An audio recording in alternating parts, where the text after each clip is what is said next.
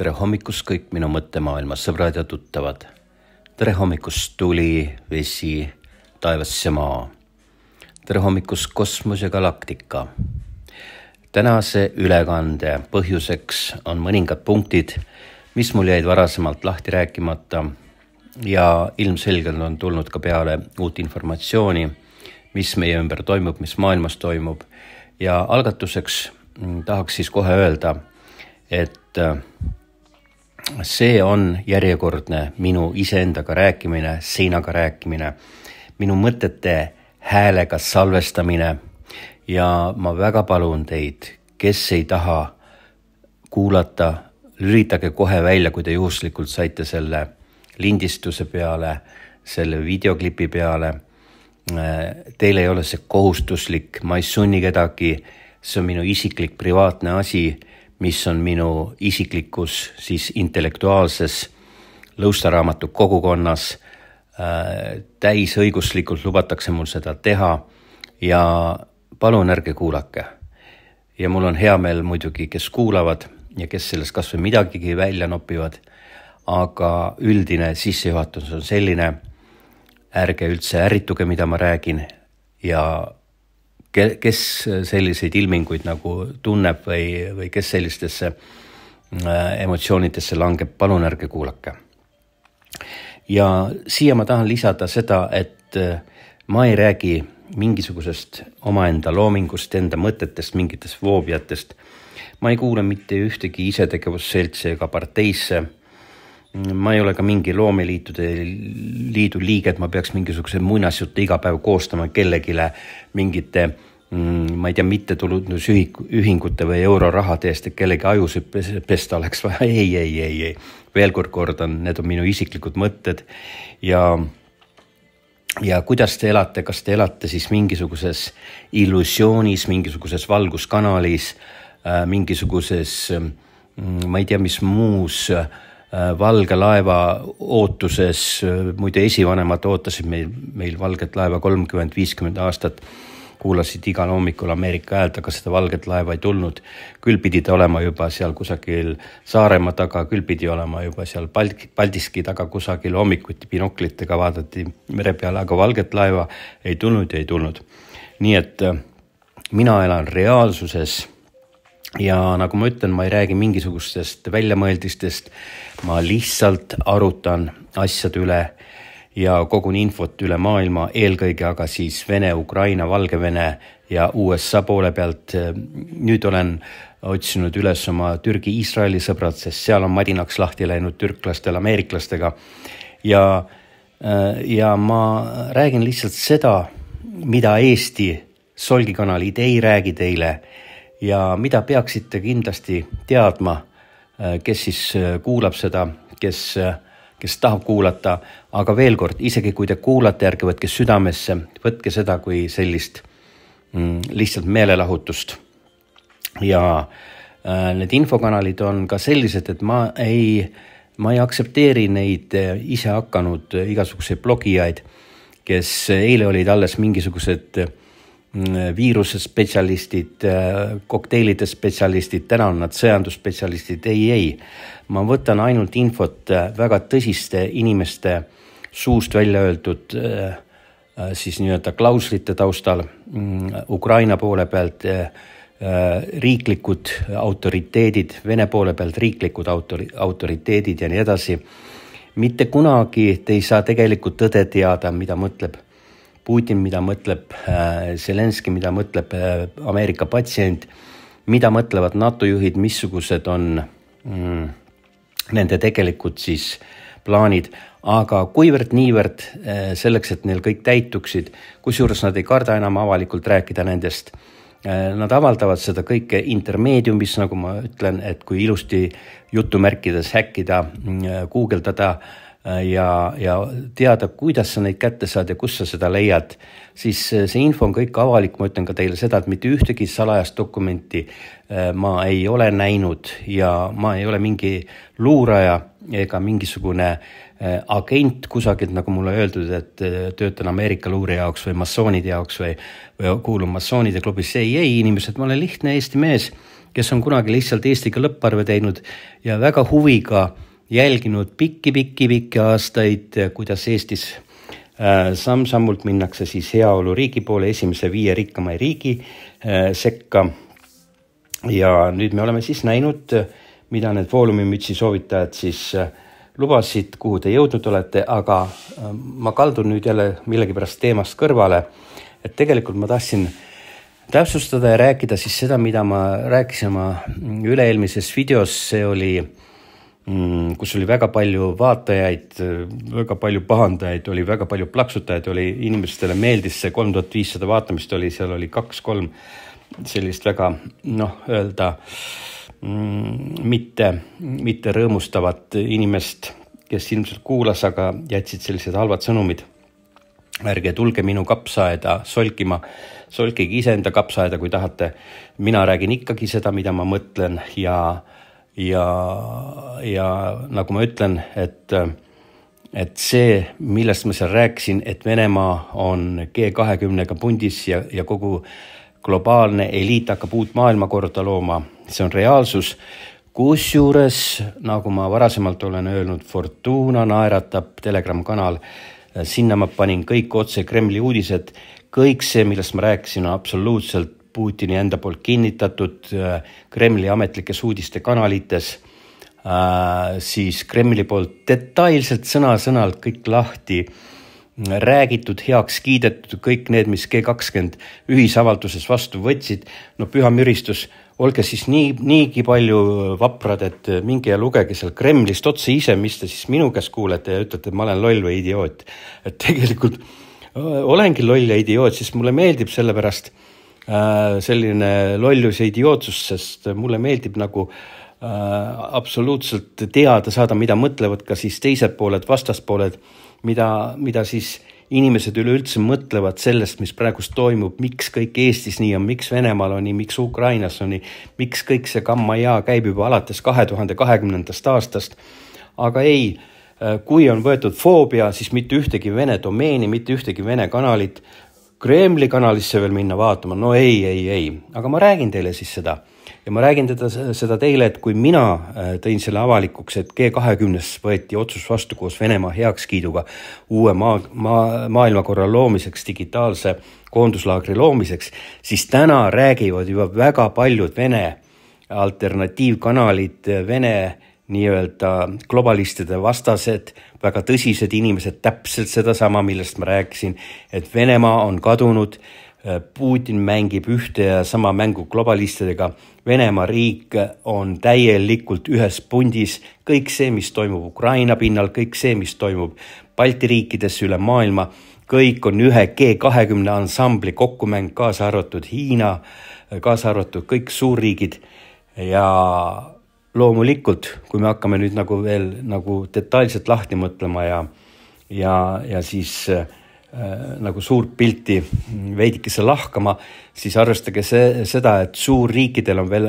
oma oligarhid, nii nagu on ka Eestis oma oligarhid äh,, kes on kunagi saanud üleöö äkki mingitest kõveraks tallatud kingadest ja hallidest kortsunud ülikondadest suured maailma eliitärimehed Äh, ja mitte üks poliitik, mitte üks president, mitte üks äh, peaminister, keda vahetatakse nagu musti sokke jalas äh, riikides, sellepärast et üks ei kannata seda jama välja, siis pannakse jälle teine lammastele ette, kolmas ei kannata välja, üks on nõrganärvilisem, teine teeb vigu, üks käib kuskil süldikausi taga, teine külmkapi taga, kolmas tellib endale kokteile autosse ja sellepärast käib see mäng lihtsalt niimoodi, et kogu aeg hoida nagu mingisuguses hoovuses, foobias, et kõik on ilus, kõik on õige. homme olete viie äh, või kümne rikkama riigi esinumbrites esi, esirinnas ja, ja Venemaal on täpselt seesama asi praegust. nii et ma veel kord hoiatan ja kordan, kui Venemaal tuleb praegust revolutsioon, kui Venemaal tuleb praegust suur riigipööre, te hakkate veel Putinit taga nutma sest kõigi eelduste kohaselt, mitte kõigi eelduste kohaselt, vaid ka päris kinnitatud andmete järgi on tulemas Kadõr, Kadõrovi, Tšetšeeni Kadõrovi klann Venemaad juhtima eh, nii nagu oli Stalini klann eh, teise maailmasõja ajal, sellepärast et need tavalised ilusad ninnu-nännutajad ei saa hakkama sõjas. ja, ja siit ma lähengi edasi vaikselt mm, siis Vene uue sõjalise strateegia peale või strateegilise siis Venemaa seisukohtade peale, mis avaldati põhimõtteliselt täna Äh, võib-olla see võeti vastu juba eile äh, kuskil põrandal seal Putini varjendis, ma ei tea, Siberis, kus iganes, Kremlis. aga Venemaal on praegust kolm suunda, kuid enne, kui ma selle juurde tulen, et mis siis saama hakkab äh,, tahan ma mm, rääkida siis äh, Ukraina seisukohtadest ja jällegi mitte mitte mingisugust luulut ajada Ukraina kohta, vaid mida on inimene, reaalne Ukraina äh, Äh, kõrg, kõrgeim endine minister, äh, riigistruktuuride autoriteet rääkinud, et miks on Ukraina praegust ohtliku kahvli vahel, miks sõda ei lõppe ära, miks see kõik eskaleerub, miks laieneb. Ja nagu te teate, Ukraina sõltub absoluutselt äh, NATO siis nii-öelda käitumisest relvadest, USA relvadest, USA abist. ilma rahalise abita, sõjalise abita oleks Ukraina ammu kaputt ja mm, Ukraina jälgib väga äh, nii-öelda tähelepanelikult ka USA siis äh, kaitseministrite või, või USA nende kõige kõrgemate sõjardite avaldusi, nad võtavad sealt välja märgilisi fraase, teevad omad analüüsid, omad järeldused.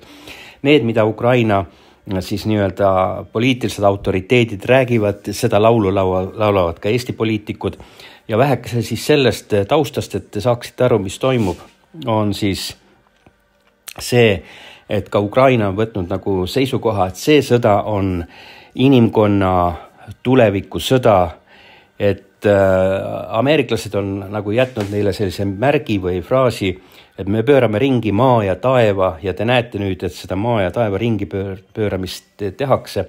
kuid ma ütlen ka see veel kord niimoodi, et need riiklikud autoriteedid tihtilugu ka eksivad Äh, ja on mingi teatud tõenäosusprotsent, kus nad panevad täpselt pihta, aga, aga üldiselt see on mm, selline ilus peegelpilt siis NATO ja USA strateegiast.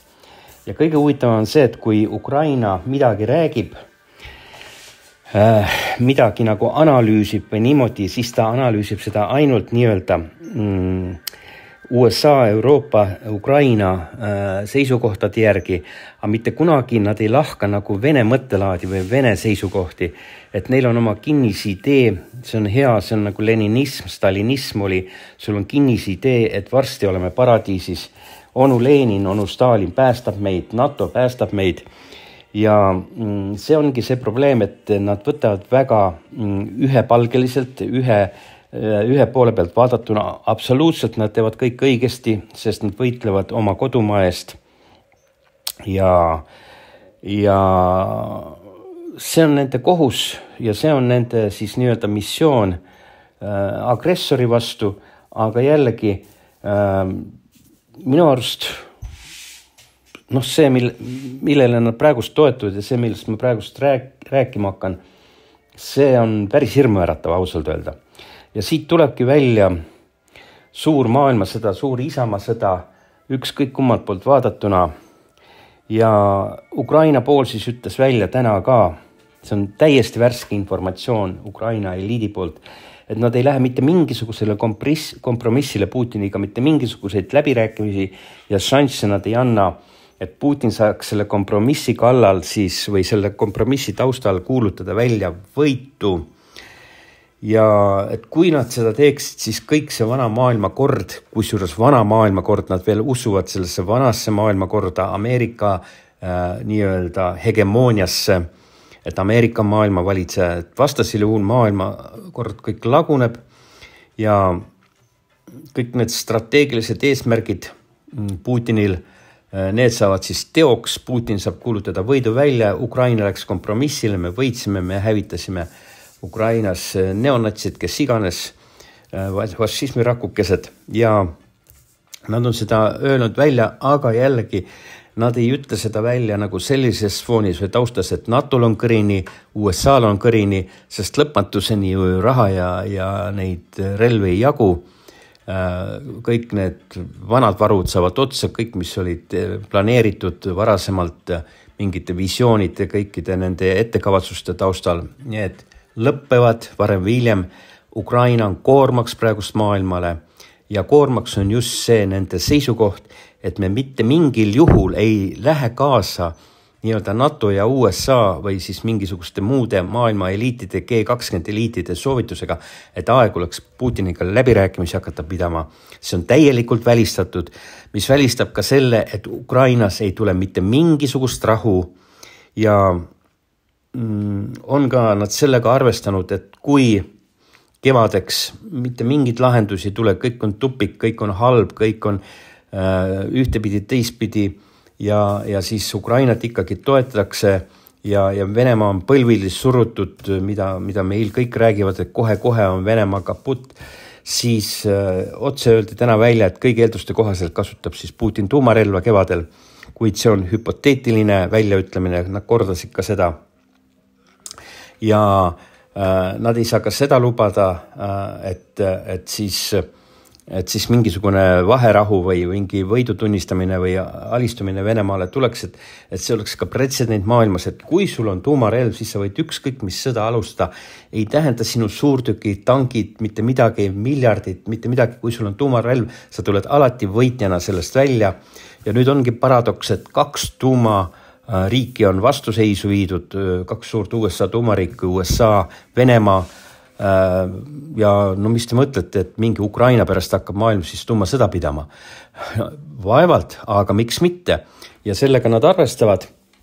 Äh, seda on nad täna konkreetselt välja ütelnud, see on uus info.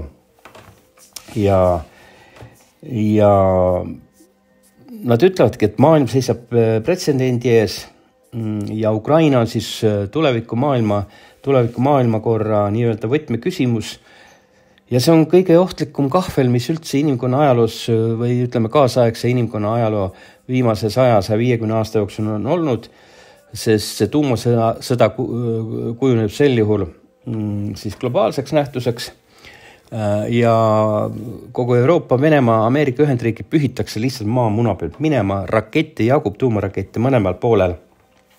Ja äh, ütlevad, et mitte mingeid variante, alternatiive ega mingi võimalusi Äh, ei ole sõja lõpetamise jaoks. Äh, ja Ukrainas, ukrainlasi nagu absoluutselt ei huvita ka kõik need igasugused konverentsid, analüüsid, miitingud, manifestid, mida siis tsiviliseeritud maailm neile pakub.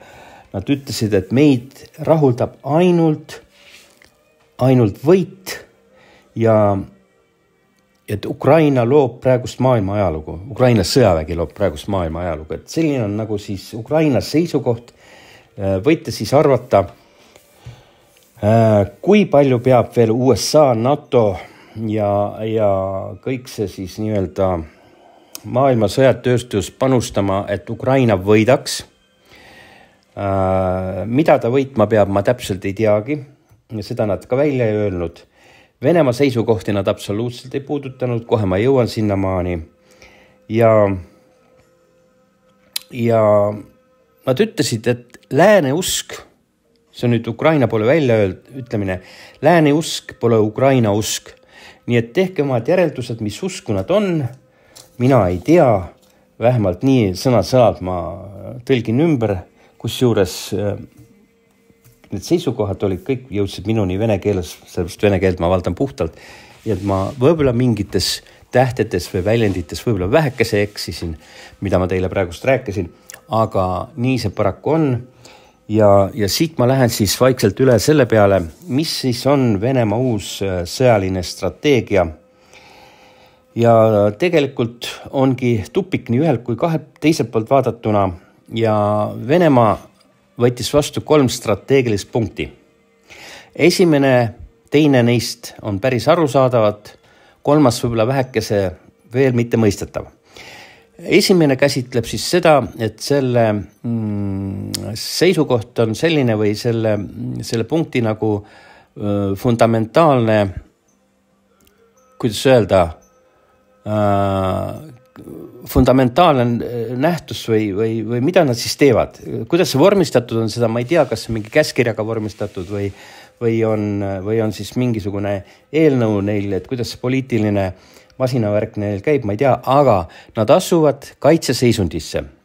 Äh, strateegilise kaitse seisundisse, mis tähendab seda, et kogu Venemaa tööstus, kogu, kogu Venemaa äh, siis toodang alates kompvekitest, küpsistest kuni kahurite kosmoserakettideni välja on kaitsetööstus äh,. tulevad uued loosungid, uued plakatid suure Isamaasõja äh,, suure Isamaa kaitseks, Isamaasõja taustal. ükskõik, mida Vene mm, siis firmad äh, riiklikud struktuurid, tööstused, kõik toodavad, on kõik Isamaa kaitseks, Venemaa kaitseks, äh, hakkavad kaitsma siis äh, kätte võidetud piire, kus iganes, alates Vladivostokist kuni Krimmini, alates Krimmist kuni Valgeveneni. ja see on nende strateegia, sõjalise strateegia, sõjalis-poliitilise strateegia üks punktidest. teine punkt on vähekese karmim ja teine punkt ütleb nii, et Ukraina eh, energia ja elektrisüsteemide täielikult segipommitamine. Ma kordan veel kord, mitte kohati segipommitamine, vaid Ukraina täielikult, absoluutselt välja lülitada energeetikast, elektrist, kõik, mis on seotud valguse, elektriga, energiaga, kõik pommitavad segi. ja see on juba väga karm asi, sest nagu ma ütlesin äh, hakkavad tulema põgenikud veel meile, hakkavad tulema põgenikud Euroopasse, sest nelikümmend miljonit inimest circa siiski kõik kokku, noh, võib-olla kümme miljonit on juba välja läinud, kolmkümmend miljonit on järel. kui Ukraina jääb totaalselt pimedaks, okei okay,, NATO, Euroopa, kõik saadab generaatoreid, saadavad juurde, mis iganes, aga see on, see tähendab seda, et inimestel on külm talv tulemas Mm, äh, lumine talv on tulemas, millegipärast see lumi ja külm tuleb see aasta ka varakult ja, ja Ukraina lihtsalt jookseb rahvast tühjaks. nii et äh, see on selle sõjalis-poliitilise strateegia teine punkt, täielikult Ukraina elektrienergiast välja lülitamine ja jätke see meelde, ma arvan, et need uudised sellest tulevad ka peagi solgimeediasse avalikult kusagile. nagu ma ütlesin mina räägin Fortuna naeratuse kontekstis kaks sammu alati ees asjadest. Ja eks me näeme siis, kuidas need asjad äh, kujunema hakkavad ja eks me näeme ka siis seda, äh, kuidas algab Venemaa üldmobilisatsioon, mõned pakuvad välja, et seitse miljonit inimest mobiliseeritakse veel äh, nii-öelda siis kodumaa kaitseks rindele. mõned ütlevad täielik mobilisatsioon, mis peaks siis algama peale Vene jõule uut aastat, viieteistkümnenda jaanuari paiku kõige hiljemalt jaanuari keskel, aga võib ka varem. Nii et see on siis äh, Venemaa sõjalis-strateegilise kontseptsiooni kaks põhipunkti. kaitse ja Ukraina täielikult deelektrifitseerimine ilus sõna, eks ju. Äh, noh, kujutage siis ette, mis seal tulemas on ja kujutage siis ette, mm, missugune tsivilisatsiooni katastroof äh, saab olema Ukrainas ja te räägite siin mingisugusest võidust. ja kui te kahtlete, et, et seda ei tule, siis elame-näeme. võib-olla tõesti seda ei tule, kui näiteks NATO või USA pommitaks enne tuumapommidega Venemaa maatasa. aga kuna Venemaal on see nii-öelda mörtva ruka surnud käsi, et isegi kui pommid lendavad ja kõik on surnud juba, siis vastulöögid käivituvad automaatselt iseenesest ja Ameerikast ja Euroopast ei jää ka mitte midagi järgi. sellepärast tuumasõda on väga ohtlik ja kuna seda hetkel veel tulla ei saa, siis ilmselt see teine punkt läheb töösse neil. nüüd ma räägin kolmandast punktist. kolmas punkt on siis jälle utoopiline, sest eestlastele öeldakse niimoodi, et detsembris on Ukraina võit. tuletage meelde, mis ma just kolm minutit tagasi rääkisin. Ukraina võidab, me ei alistu, me kindlasti võidame, me läheme viimase peale välja see on siis nii-öelda Ukraina poolselt mm, ilusti lauluraamatusse tulevikustsenaariumisse kindlalt sisse kirjutatud ja seda propageerib Eesti, väga tublid, väga tublid, kõik, kõik on tibi-tobi, aga jällegi ainult ühepoolselt vaatavad, mitte ei analüüsi nagu kahepoolselt, nagu mina praegu seda teen, räägin ka teise poole pealt, mis toimub. ja kolmas stsenaarium, kolmas variant, mis on siis strateegiasse sisse kirjutatud, on Valgevene suunalt pidage meeles, Valgevene suunalt Kiievi ründamine. ja eesmärk on püstitatud Kiiev ära võtta, väga lihtsalt, väga selgelt. Kiiev ära võtta, kui kiiresti, ma ei tea, kas see on utoopia, ma ei tea, kas sellest tuleb midagi välja, ma ka ei tea. selles kahtlevad nad isegi, sellepärast et nagu ma ütlesin, ma kuulan mitme rinde poole pealt poliitikuid, ka Vene poliitikuid või siis poliitinformatsiooni edastajaid. aga niimoodi on kolm plaani Venemaal siis ette pandud. Ja nüüd võite kujutada ette, mis Ukrainas saama hakkab, mis sellest rindest saama hakkab, mis hakkab Euroopast saama ja NATO-st saama, kas te kujutate ette, kui, kui koormavaks muutub äh, Ukraina, Ukraina inimesed Euroopale? Kui veel kolmkümmend miljonit Ukrainast üle Euroopa laiali läheb, kaasa arvatud Eestisse, ütleme, et üks kolmsada, nelisada tuhat tuleks siia ka. Või noh, jagame orienteeruvalt ära, sest Eestis on kõige paremad tingimused äh, sõjapõgenike vastuvõtuks, siin jagub pappi, siin antakse toetust, siin antakse villaseid sokke, kõike. nii et äh, ma arvan, et mingi sada viiskümmend tuhat ei ole üldse mingi küsimus, et tuleb juurde. nii aga kui nüüd läheb seal jamaks ja kõik see elekter ja kõik ära kaob, pommitatakse kõik maatasa ja kui peaks nüüd Venemaal juhtuma revolutsioon või mingisugune riigipööre või, või see üldmobilisatsioon, siis ma ütlen, et Vene poole pealt tuleb mitte sada viiskümmend tuhat põgenikku, vaid sealt tuleb vähemalt miljon. ja ma, ma pean silmas Baltikumi, Eestit ja, ja niimoodi ja Soomet ja, ja kõike, mida iganes ja, ja see on täitsa arvestatav, sest iga sõda paneb rahvad liikuma, iga, iga sõda lõpetab mingisugused riigid, tsivilisatsioonid, piirid. vaadake ajalugu, see on reaalsus jälle, see ei ole minu luulu.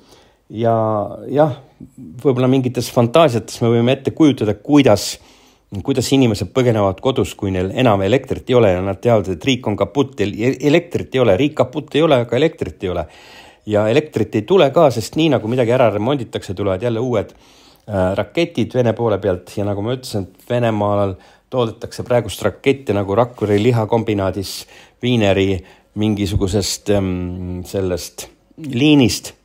Nii et ärge lootkegi, et Venemaal relvad otsa saavad äh,. nüüd on siis veel see äh, küsimus ka üles püstitatud, et Iraan aitab neid mehitamata luurelennukeid või neid pommitus äh, agregaate siis valmistada Venemaal, millest ma ka rääkisin, see on ka täna jõudnud uudistesse. see on ka probleemiks, äh, ukrainlased räägivad seda. nii et äh, Ukraina rindel on siis äh, nii-öelda üh-, ühtse lääne vastu juba Venemaa, Iraan. Türgiga on üldse arusaamatu teema, Türgi alustas Süüria pommitamist, Süüria oli ju Vene Äh, nii-öelda Vene taeva või see Süüria taevas oli venelaste poolt kaitstud, Venemaa andis loa Süüriale pommitamiseks, ehk siis Venemaa teeb NATO riigiga, Türgiga, NATO vägedega teeb koostööd, pommitavad nüüd koos Süüriat, kas te kujutate ette, vahet ei ole, kes kus seal asub või midagi. Viimased uudised täna on veel sellest, et, et mm, on äh, need Türgi väed pommitanud ka Ameerika mingisugust äh, väljaõppekeskust äh, kusagil seal, ma ei tea, kus, kus, kus konkreetses kohas. ma panin ka selle uudise lõustaraamatusse mm, õhtul veel ja noh, see on selline segasumma suvila ja siis vaadake, vaadake siis NATO riiki Türgit kui sellist, kes peaks olema ideeline ideeline siis USA ja, ja lääne ühtsuse toetaja, aga tundub niimoodi, et huvid on regiooniti erinevad ja mitte mingit vahet ei ole, kui on vaja kedagi kusagil koos pommitada, koos vaenlasega midagi mm, hävitada, mingisugust mis iganes, mis liikumisi ja, ja mis seal Türgi ümber need jamad käivad ja Süüria ümber. nii et tegelikult see pilt on täielikult äh,, täielikult nagu Soodoma ja Gomorra äh, või kuidas seda öeldi et äh, mitte mingisugust loogikat enam ei ole ja igaüks võitleb nüüd täpselt äh, selle eest, et äh, isiklikult omale profiiti lõigata, oma võimu kindlustada. Mm, kõik need pahad poisid, Putinid, Erdoganid äh,, patsiendid Hiina president, nad on ju kõik ühte masti mehed on, et äh, kõigil on isiklikud huvid ja ja miks nad nii hea meelega sinna G kahekümnele alati kõik kokku jooksevad, okei okay,, Putin ei käinud, aga, aga sõpradega on vaja ju kokku saada, kätt on vaja pigistada, naeratada on vaja, kallistada on vaja, mis iganes. isiklikud sidemed, otseliinid Äh, kõik see töötab niimoodi, väiksed riigid, mingisugused Eestid, Lätid, Leedud, Soomed kusagil, neid absoluutselt ei huvita, neid huvitab ühtne uus strateegia, kuidas luua uut maailmakorda. ja sellega ma tahaks põhimõtteliselt hakata otsi kokku tõmbama, aga ma tahan veel ühest asjast rääkida. mulle mm, eile kirjutasid ka väga paljud inimesed, et, et no mis siis saab seal Võrumaal. kakskümmend üks talu kaotavad oma kodud, maad Äh, ja mis ma oskan öelda? Äh, ma võin teile öelda seda, et äh, inimesed, et mis teiega juhtunud on? Teie esiisad rügasid tööd, teie vaarisad, vanavanemad, esivanemad on need talukohad kõik üles ehitanud, need talukohad on toitnud, katnud, matnud eelnevaid põlvkondi. nüüd tulevad mingisugused natukad kusagilt Inglismaa Äh, mingisugused sõjardid, USA sõjardid ja võtavad teie käest need maad ära. kas, kas te tuletate, tuletaksite äkki meelde, äh, mida ma rääkisin teile kaks aastat tagasi, et tuleb fašism, tuleb hunta, võtab teil kodud käest ära, võtab teil maad käest ära. Nad tulevad, nad ei küsi ka teie käest. Äh, saadeti mulle igasugust informatsiooni, mida teha, no vaadake, ma ei oska midagi öelda, mida teha, sest äh, mina mäletan seda, et omal ajal siis, kui ma võrokatega rääkisin ja, ja mingid üritused kunagi olid viisteist, kakskümmend aastat tagasi, kui Võro mees võttis pitsi viina, tampis rusikaga rinna peale, et Võro veri ei värise. kus te nüüd olete, võrokad? Võro veri väriseb, Võro veri on nagu, ma ei tea, kusagil pulbitseb seal sees, ta mitte ei värise, vaid ta, temaga midagi juhtunud seal vereringluses miks te ei kaitse oma kodusid, miks te kaitse oma, oma tulevikku, oma laste tulevikku, teil on kõik suguvõsad suured äh,, igasugused vanavanemad, esivanemad, lapsed, lapselapsed, kakskümmend üks peret laseb endale koti pähe tõmmata, et lihtsalt teha sõjatander Võrumaast. arvestage sellega, et kui jamaks läheb, siis kannatab kogu Võrumaa, sest Võrumaa pommitatakse lihtsalt segi naglalt, täpselt nii nagu Ukraina pommitatakse segi. Ma räägin seda, mida tähendab see sõda, reaalne sõda, mitte seda, mida ma propageerin või, või mida ma mm, noh äh,, nii-öelda kuidagi soosiks või tahaks või paljud on mulle ette heitnud, et miks ma ei räägi valgusest ja päikesest, hakkan rääkima. Mehhikos räägin teile valgusest ja päikesest, aga siis on mul seda valgust ja päikest teile ka reaalselt näidata. aga praegu ma räägin reaalsetest asjadest, mis teiega tehakse ja mina ei oska teid mitte kuidagi aidata, kui isegi Võrumaalt keegi kuuleb seda. Äh, ma võin öelda seda, et äh, ma olen käinud Hiinas seal äh, nii-öelda Hiina Punasel väljakul, kus üks revolutsionäär seisis tanki ette ja, ja Hiina kommunistid sõitsid sellest noormehest või kes seal tanki alla jäi, üks üliõpilane, sõitsid naglad tankiga üle. mina ei läheks oma talukohast mitte kuhugile, sõitke kasvõi tankiga üle. surm siin või Siberis, aga nendele Bilderbergide pandedele et nad tuleksid ja võtaksid minu kodu, minu esivanemate kodu, minu esiisade maa äh, ära ja teeksid sellest sõjatallermaa sõna otseses mõttes, polügoon on sõjatallermaa, mis, mis ohustab siis kogu ümbruskonna, kogu Lõuna-Eesti, kogu Võrumaa äh, seda mm, tulevikku äh, sõjaliselt siis. Äh, sest jällegi see ei ole luulu, vaadake, mis Ukrainas toimub, vaadake, kuidas need raketid lendavad, vaadake, kuidas need pommitatakse. ja kui on reaalselt vastuseis Eesti, Balti riikide, Eesti ja Venemaa vahel ja nagu ma olen öelnud, see sõda tuleb ja see sõda jõuab äh, Balti riikideni varem või hiljem. hoidke hinge kinni ja vaatame, et äh, kas Kiiev langeb või ei lange, väidetavalt siis. ja kui Kiiev jääb alles siis nii kaua on aega, aga kui Kiiev alles ei jää, siis järgmisena on juba automaatselt läbi Valgevene Balti riigid ka kaasatud sõjategevusse. Leedu, Poola valmistuvad selleks väga jõudsalt. nii et äh, inimesed, ärge pooldage sõda, ütlen veel kord, sõda toob surma, verd, viletsust. sõda hävitab kõik teie tehtud elutöö, kõik teie missioonid, illusioonid fantaasiad, lootused, ootused, sõda on surm. ja sellega ma täna lõpetan. Äh, noh, põhimõtteliselt ma tahaks veel kord korrata, äh, korrata seda, et võidelge sõjahüsteeria, sõjategevuse, sõjaks ettevalmistuse vastu, sest Eesti Vabariigi loomise missioon oli, kui kõik seisid Balti ketis, ma ei jõua, ma ei jõua seda enam korrata, oli demilitariseerimine. Ja nüüd vaadake, mis on Eestiga tehtud. seiske sõja vastu, seiske ükskõik selg selja vastu, käest kinni, mis iganes. sõda toob teile surma ja sellega ma lõpetan ja soovin teile ilusat päeva, sööge palju vitamiine, olge vaprad, terved, võidelge, sest äh, äh, kõik need nähtused on sisuliselt äh, fašismi, aparteidi ja, ja mingite muude mm, nii-öelda põhiinimõiguste vastased tegevused. ja noh, ma ei tea, mõelge ise edasi, aga sellega ma lõpetan kunagi jälle siis, kui õige aeg on. ilusat päeva teile